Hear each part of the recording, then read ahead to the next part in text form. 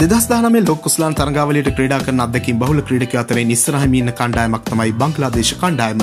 මීට අවුදු විස්සකට කලින් තමන්ගේ පලවින් ලොක් කුස්ලාන් තරගාවලට සෙල්ලම් කරන බංගලාදේශ කණ්ඩායම මේ වෙද්දි ක්‍රිකට්වලින් ඉන්නේ හොඳ මට්ටමක.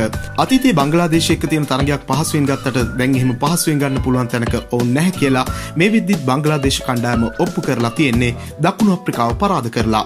නවසීලන්තයටත් හොඳ තරගයක් දීමත් එක්ක. අපි අද බලන්න යන්නේ ලෝක කුස්ලාන ඉතිහාසයේ ශ්‍රී ලංකාව හමුවේ බංගලියන්ගේ දක්ෂතා මොන වගේද කියලා. ලෝක කුස්ලාන ඉතිහාසයේ මුල් වතාවට ශ්‍රී ලංකා කණ්ඩායමට බංගලාදේශයේ මුණ ගැහෙන 2003 ලෝක කුස්ලාන තරගාවලියේදී මේ තරගයේ ශ්‍රී ලංකා කණ්ඩායම ජය ගන්න සමත් වෙන්නේ කඩලු 10කින්. මුලින් පන්දුවට පහර දෙන බංගලාදේශ ක්‍රීඩකයෝ එදා ලබා ගන්නේ ලකුණු 124ක් විතරයි. චමින්ත වාස් තමන්ගේ පළවෙනි පන්දු තුනෙන් කඩලු ත්‍රිත්වයක් වාර්තා කරන්නේ මේ තරගයේදී. වාස් බංගලි කඩලු 6ක් දවා ගනිද්දී මුරලි කඩලු 3ක් එදා දවා ගන්න සමත් වෙනවා.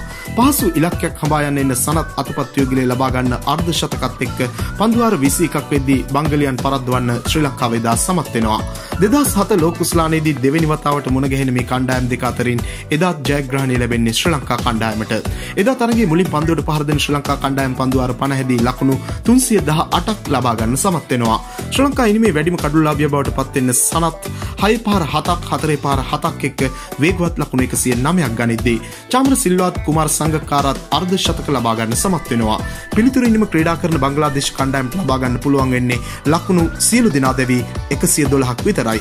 බංගලාදේශ කණ්ඩායමේ කඩලු තුනක් දවාගෙන වැඩිම හානියක් එදා කරන්නේ ලසිත් මාලිංග. අවසාන වතාවට මේ කණ්ඩායම් දෙක මුණ ගැහෙන 2015 ලෝක කුස්ලාම් තරගාවලියේදී මේ තරගයේ මුලින් පන්දුවට පහර දෙන්න ශ්‍රී ලංකා කණ්ඩායම තමන්ගේ පන්දුවාර 50 දී ලකුණු 332ක් ලබා ගන්නේ එක කඩුල්ලක් විතරක් අහිමි කරගෙන ලහිරු තිරිමාන්න ලකුණු 52කට දැවී ගිය එකම කඩුල්ල විදිහට සටහන් වෙද්දී කුමාර් සංගක්කාර ලකුණු 105කුත් තිලකරත්න ඩිල්ෂාන් ලකුණු 161කුත් නොදෙවී ලබා ගන්න සමත් වෙනවා. ලකුණු 333ක ඉලක්කයක් හඹා යන පිටියට එන බංග්ලාදේශ කණ්ඩායම පන්දුවාර 47කදී සියලු දෙනා දැවී යන්නේ ලකුණු 240කට.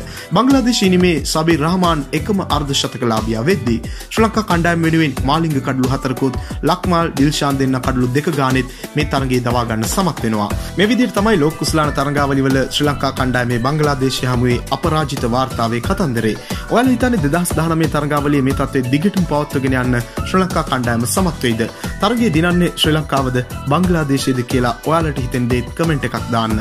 මෙවැනි වීඩියෝ දිනපතා බලන්න අපත් සමග එකතු වන්න.